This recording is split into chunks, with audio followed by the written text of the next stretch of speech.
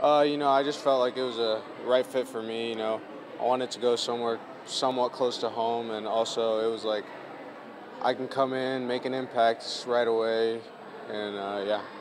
What does today mean to you, just to uh, make that college choice official? Yeah, um, it was actually uh, really a stress reliever, honestly, because like it's a it's a decision you have to make, but it's like a it's a good decision, but it's finally good to have it out, you know. Was it a long uh, process? for? Yeah, it, it was pretty long. You know, a lot of making videos, contacting schools, all this and that. You know, yeah.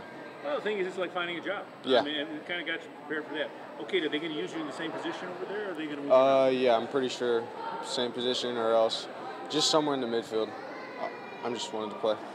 Last couple of years for you, you know, SAC Player of the Year. I mean, the last couple years, how's that prepared you to play at the college level? Uh, you know, I just think every year I've just been going up every every day, uh, every year. You know, just improving even more and more, and uh, playing with older guys. You know, it just helps helps in that.